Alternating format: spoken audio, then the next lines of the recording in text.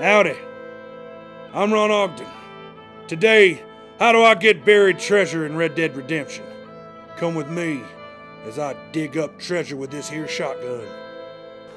The Treasure Hunter Challenge starts when you randomly run upon a treasure hunter waylaid by bandits.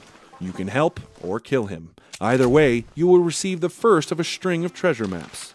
The first treasure can be found right there, Hanging Rock, just northeast of Armadillo.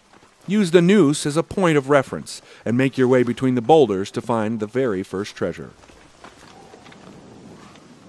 You know how big a hole I can blow in the ground with this here gun? How do you think you get milk from cows?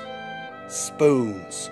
If you would like to come see me spoon my cows, I ain't got no address yet, but I'm in a ghost town in Texas. So come on. I'll spoon a cow for you. Bring your shotguns. It's gonna be a spoon time.